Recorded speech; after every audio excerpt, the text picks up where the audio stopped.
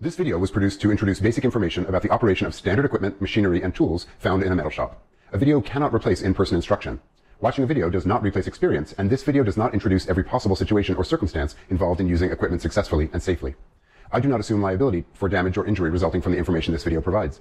Continuing to watch this video affirms your agreement to waive any claim of liability you may have against me by implementing any procedure or recommendation contained here. Shops are inherently dangerous places full of equipment that can cause injury if not used correctly. You must use care and pay attention when using equipment for your own safety and for the safety of those around you. Dress appropriately to work with equipment, wear shoes that protect your feet and clothes that cover your skin, remove all loose clothing and jewelry, wear eye protection at all times. If you do not feel confident using a piece of equipment, don't. Ask for help or guidance from someone with more experience. Okay, the next thing we're going to talk about are rivets. I love riveting. Don't laugh. A million years ago, I made these, uh, like really a million years ago. Stainless steel, I don't know what they're for. Cooking, maybe? Didn't matter. That's what they are. Laser cut, rivets. So I clean up the metal. This one's not cleaned up. Uh, rivet them together and bend them.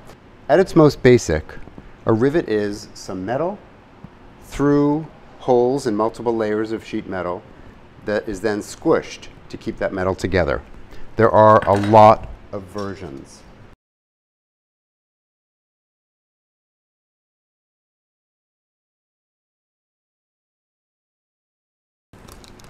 You can buy rivets. You can buy pre-made rivets. Here are some copper ones. They have a domed head, flat shoulder, and a shaft. You can get them in all different lengths. It should go through your metal and have enough to dome over on the other side. So this is for very thick metal, but you can also cut it shorter with a jeweler's saw if you wanted to put this through some thinner metal. You can buy them in all different metals. These are copper. You can buy them in brass. You can buy them in aluminum. Our supply store has a bunch of rivets ready for you from Hanson Rivet and you should learn what these labels mean. There's lots of information on here, but the tiny little code means something. It's an aluminum rivet with a gold finish, and the other numbers refer to the dimensions. This is an aluminum rivet with a gold finish. So people who don't know better see this and assume it's brass or gold, but it's just an anodized gold surface over aluminum.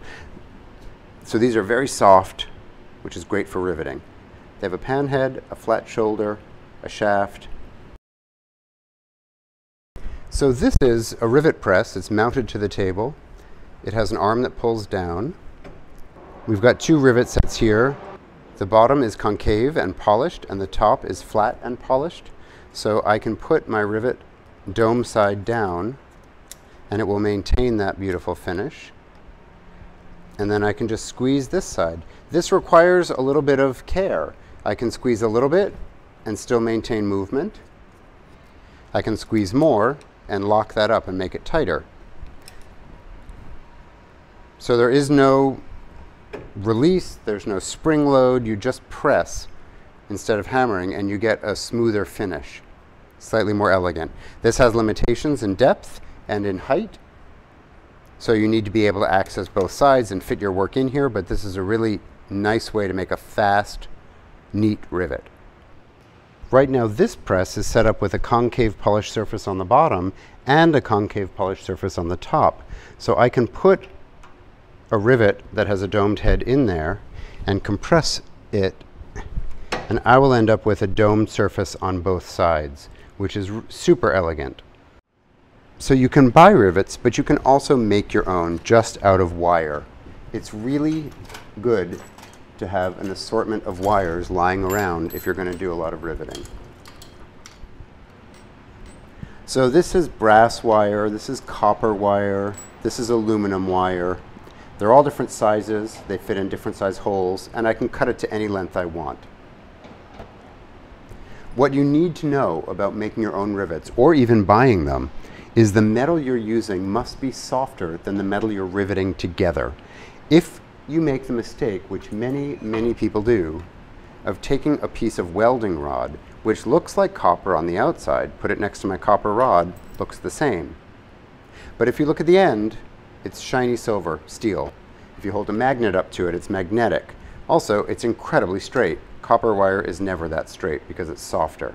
So what most students do is go buy this really inexpensive rod, they cut a piece off, and then they mangle it because it's so much denser and harder than the thin steel they're trying to rivet together. So I would never use that for a rivet. Let's do a basic rivet.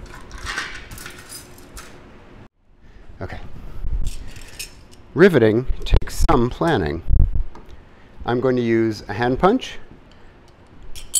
What you want to do is match the punch size to your wire. Let's use the eighth inch punch. I'm going to punch holes in two pieces of metal.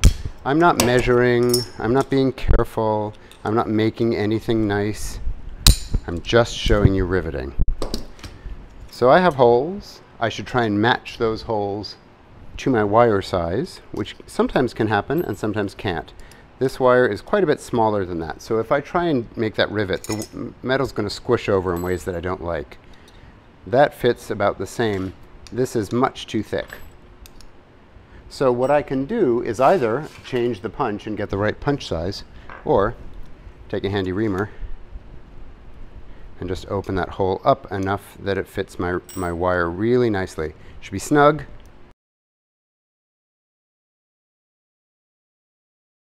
So I've got my metal that goes nicely through there.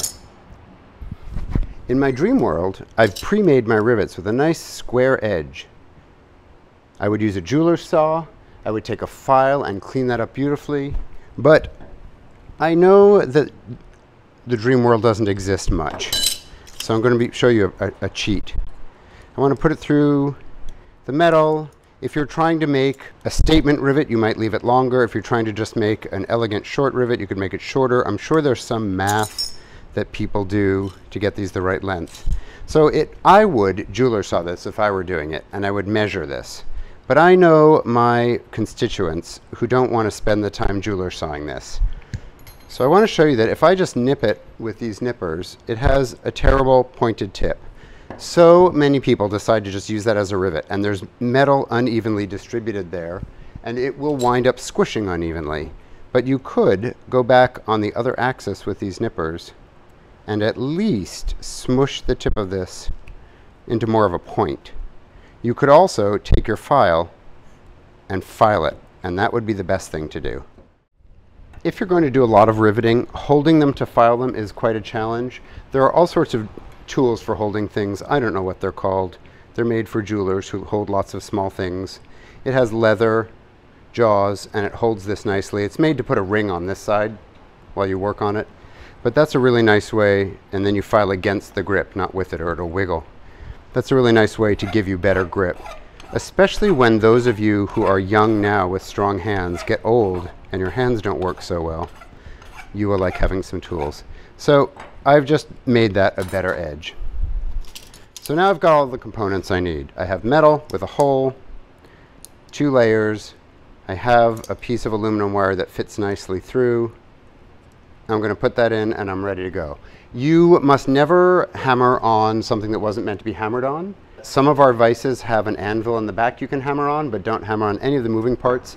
I brought with me a metal block from home. This probably has a name too, I don't know what it's called. A portable anvil. We have anvils, we have lots of things you can hammer on, but don't hammer on something that you shouldn't. And then all I'm gonna do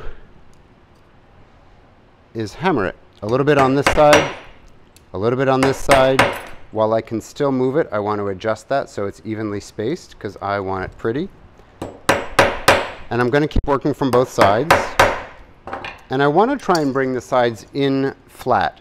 If you hammer off and you get one side on an angle, the whole thing will then angle and smush eh, on, on a diagonal. So the trick is just to work from both sides. That's it. I've made a rivet. A lot of people would argue that I have made an inelegant rivet. I would argue that I could also find a hammer with a curved surface and go back and make it intentionally messy. I happen to think that's a really elegant look. It says I'm handmade, but I'm careful. If you're ever assembling something out of sheet metal where you want movement, a rivet is a really elegant way to secure things but allow movement. Let's do one so you can see that in action. I'm going to do a copper rivet. I happen to know that this copper is not annealed. It's very hard. If I were actually seriously making a lot of rivets with this, I would anneal it, which is a process of heating the metal up to relax it. And that's something that, that we can do in the shop if you ask for some help. So this time I cut a copper rivet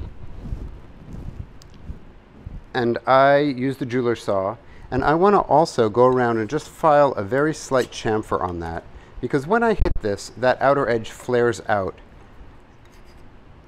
And if I really want this to be an elegant rivet, I have to remove some of that material just around the edge so that it compresses outwards a little more elegantly.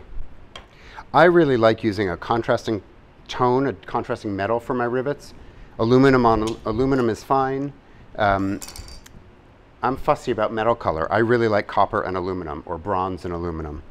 So for me, that's the best rivet situation. Ooh, that's hard.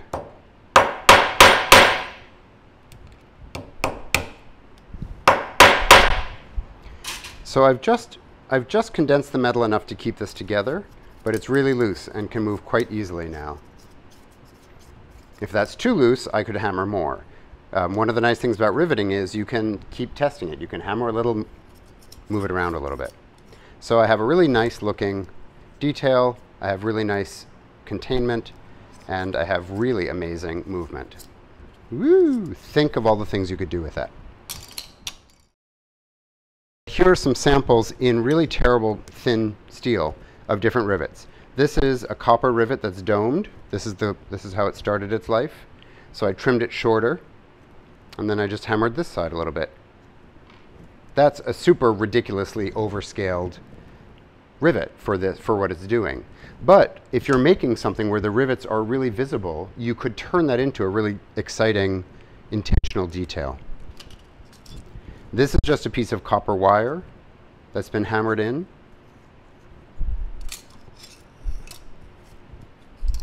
And then this is that same copper rivet, but with a piece of tubing in between. So this is also a really elegant method of getting two layers spaced apart, but contained together. I want to tell you a little bit about my hammer, which is fancy. The hammers we have in the shop, ball peen hammers, are just fine for riveting. There's nothing wrong with this end and you can also use the peen side if you want to texture something. I do a lot of riveting and I have a hammer that's polished, or at least was once. So it will transfer the smoother surface onto the copper and I can get a shinier rivet. I also have a flat side and a domed side.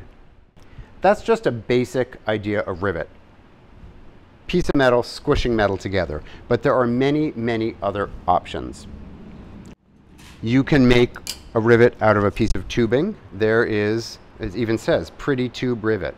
So this is a piece of tubing that was put through the hole and then the ends are flared over on both sides.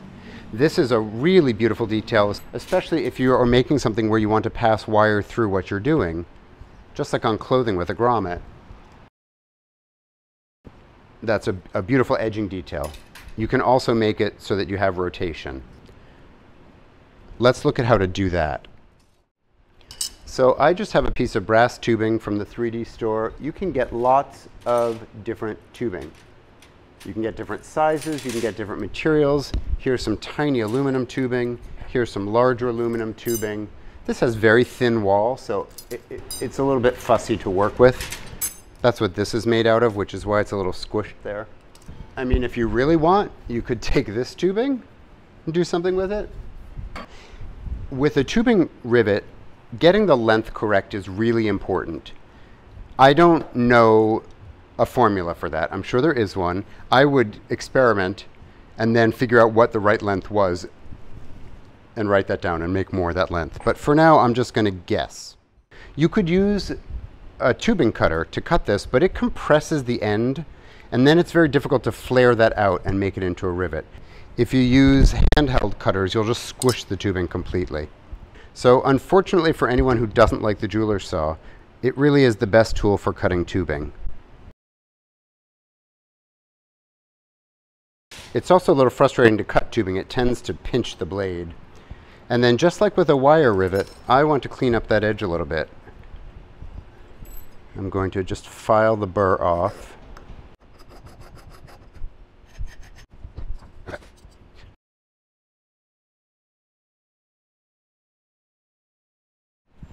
so I got my piece of tubing through my hole with extra on either side, probably more than I need. And what I want to do is flare that tubing over on both sides and then condense it around. I've found that a really nice tool for that is the very wide center punch that has almost no point that lives in the cupboard here. Because I can use it, and I'm not using my nice hammer, I'm using this hammer. I can use it to flare that metal out. And just like with a normal rivet, I'm going to work from both sides.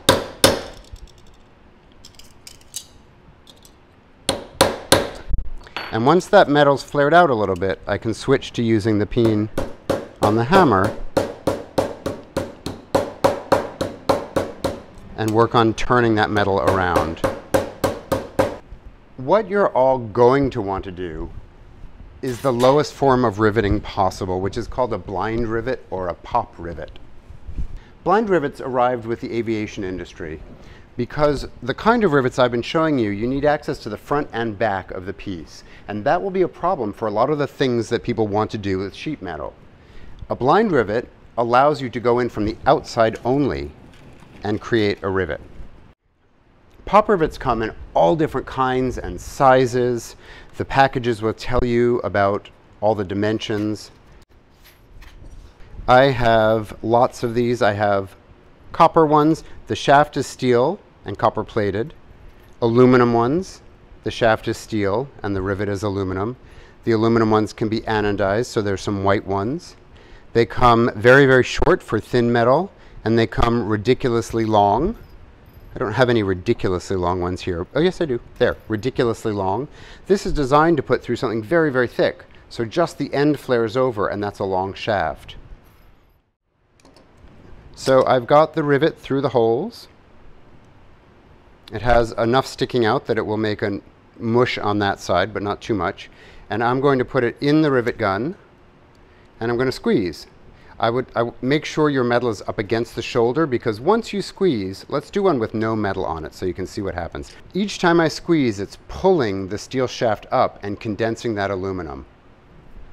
One squeeze, two squeeze, and each time I release, I'm going to push it back down on because the amount that it has pulled up needs to be shoved back in. And you can see this is, it's just getting uglier and uglier. But as that steel shaft pulls in, it's expanding the aluminum to hold your metal together. And then when it gets too much pressure, so when that's all as tight as it can be, it will break off. And this is why we also call this a pop rivet, because it does that. Then the steel shaft is inside here, and you have to make sure you open the handle and get it out. They tend to bind up in there if you don't. Here's the one that I'm set up to do with a better size rivet. It takes some hand strength to do this. And remember, if you hold it at the end of the handle, you'll get better, better action. But if you have small hands, this is going to be really difficult. And when it gets tight, you can feel all the resistance. I usually then get both hands, break that off. So there's the back. It's not hideous, but it's not as elegant as a handmade rivet. Also, it still has the end of the steel shaft in there. It has broken the steel shaft off on this side. So a pop rivet has a pretty shoulder, but it always has a sharp piece of steel in the middle, and it always has a smush on the back. So these are really, really useful for assembling things. I think they're great for sketching. If you want to attach a bunch of stuff fast, hold it together, um, there's nothing faster than this. And if you've made something where you can only access the outside, you'll have to use something like a pop rivet, but you'll never get a really nice detail out of it. The other kind of rivet I want to talk about is called not a solid rivet and not a tubular rivet, but a semi-tubular rivet. Semi-tubular rivets have a head, a solid head, and then a piece of tubing. And you put it in and flare that tubing over. So you get all of the uh, elegance of a perfect little finished domed head and all of the sort of neat finish of a rolled tubular rivet. And these are designed to be set with a rivet set. For years, I made pins, thousands of little pins that said amusing things.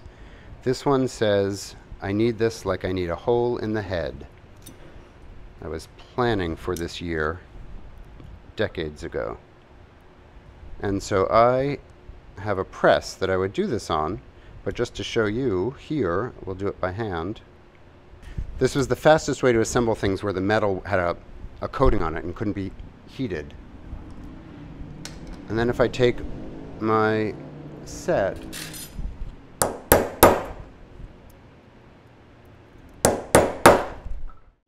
There are handsets available. I have never found this very useful because it has such a shallow throat and because it's quite hard to hold. You could put it in a vise while you're using it, but I found this to be a struggle, so I used it three times and put it away. We have a, a deeper throated press here that's about eight inches, and you can also set them by hand. So here are two pieces of aluminum and a semi-tubular rivet I've got the domed head up and the flare side down. You just have to be sensitive about how much pressure it needs. A bit more. And there, very quickly, I've given myself one of the most elegant rivet situations. A domed head on one side and a perfectly flared semi-tubular inside. I've also done it loose enough that I can rotate. And I know you're going to laugh, but I used to have students put five rivets in uh, two squares of metal to practice a solid store-bought rivet, a handmade rivet, a pop rivet, a semi-tubular rivet, and a tubular rivet. And this is generally what they looked like, which is so discouraging. I hope you see how wrong this is. The goal was to practice riveting until you could do all of these nicely and turn in a beautiful little sample of your beautiful rivets. Um, this is my idea of a nightmare and all of these have gone wrong. These are just pop rivets because the student didn't even want to bother. This is a solid rivet that's not even tight. Once this metal wrinkled, it could never be pulled together again. This is a supposed to be a tubular rivet, but it's missing the whole point of a tubular rivet. This is a semi-tubular rivet that even with a machine to do it is a mess. So you can use rivets to make horrible, ugly things, but you can also, with almost no extra effort, have a whole range of really beautiful options for attaching metal elegantly and usefully.